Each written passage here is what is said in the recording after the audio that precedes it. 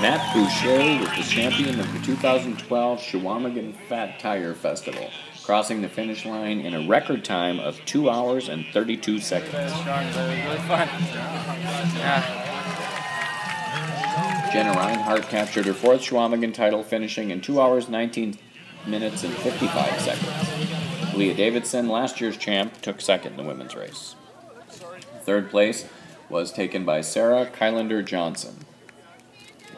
Once again, your women's champions for 2012, Sarah Carmen Johnson. Leah Second place in the men's race was taken by Mike Anderson, and coming across the line third was four-time Chequamegon winner Brian Matter. Matter was the 2011 Chequamegon Fat Tire champion.